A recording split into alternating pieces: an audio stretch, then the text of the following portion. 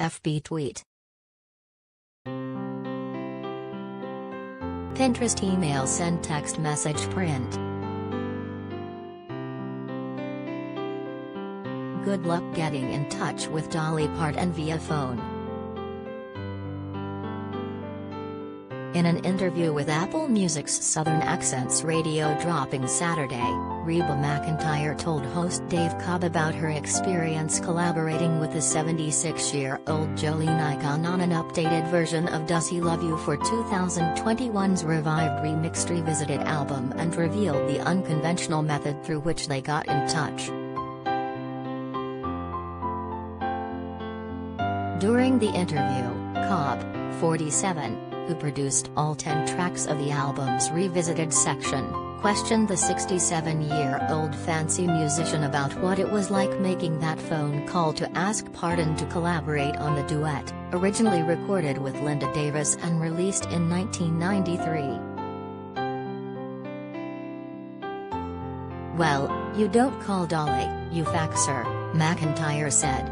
And you fax your people and your people talk to her people.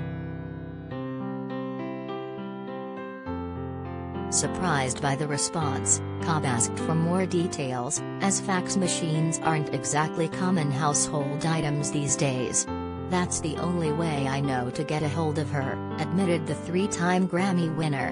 I even asked Kenny Rogers one time, I said, do you have Dolly's cell number? He said, no. So you fax her.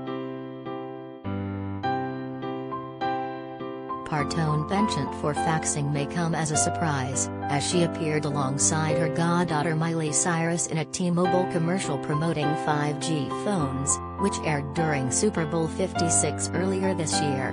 However, the 29-year-old former Hannah Montana star has also spoken publicly about receiving faxes from the prolific singer-songwriter. In an October 2020 interview on The Graham Norton Show, Cyrus revealed Parton asked her to collaborate on a duet titled Christmas is for her A Holly Dolly Christmas album. She faxed me, she said at the time, noting she didn't own a fax machine to receive the message. She gets upset when you don't respond, and it's like, I'm sorry, I don't even know. Half the people watching your show might not even know what a fax machine is. Elsewhere in McEntire's Apple Music interview, she spoke about her relationship with Parton and complimented her singularity as an artist and human. She did tell me one time that she gets up early in the morning and she writes. She writes every day, Dish the a Survivor performer. But Dolly is different than anybody I've ever met, whether they're in the business or not.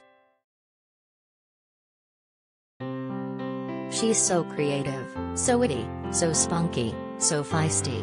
And the biggest hearted person I've ever met in my life, and I've met some big hearted people, continued the Reba actress, detailing her appreciation for the I Will Always Love You songwriter. But she's a giver and I don't know, I'm in awe of Dolly. I'm not intimidated, it's just, I'm in awe of her. She's just. I don't know. Her complimentary words for the big-haired country diva didn't stop there. I put her out there sometimes, God's little sister because she helps so many people and takes care of so many people, said McEntire. It's just like an angel on earth. I really respect her a lot.